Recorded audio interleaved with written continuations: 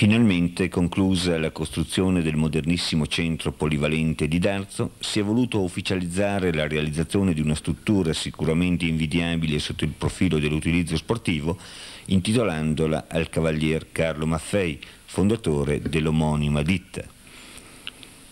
Nella giornata di ieri, alla presenza di autorità politiche, amministrative e sportive, locali e provinciali, si è proceduto alla cerimonia dell'inaugurazione e della benedizione dell'edificio.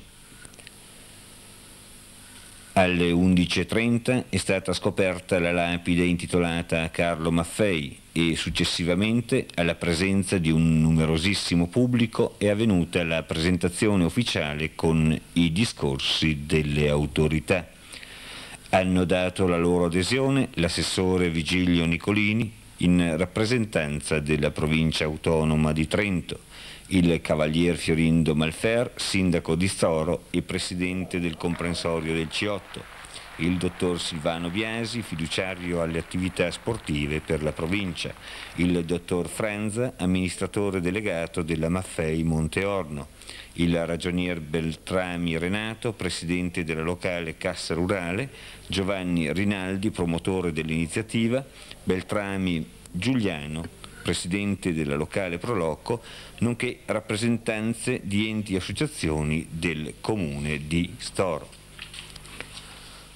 Una cerimonia semplice che non ha mancato di ricordare l'impegno di tutta la comunità d'Arzese nella realizzazione dell'importante impianto sportivo, costruito non solo per il ristretto ambito locale ma usufruibile da tutta la valle.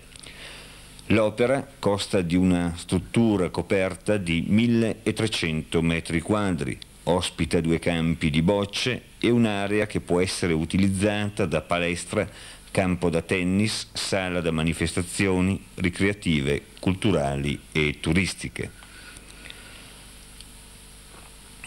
Il nuovo centro Maffei viene a completare così già il già funzionale centro sportivo, che poteva già disporre di tre campi da tennis e di un campo da calcio, con pista di atletica, operando un sicuro sprone all'attività sportiva della Val del Chiese.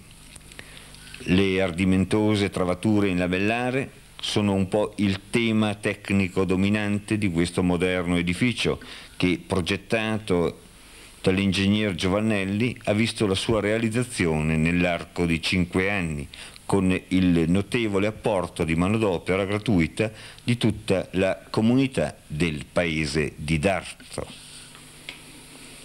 Al termine della cerimonia di inaugurazione tutti gli ospiti sono recati nelle sale dell'Hotel Castello Drone dove si sono intrattenuti per il pranzo. Nel primo pomeriggio la finale del torneo di tennis,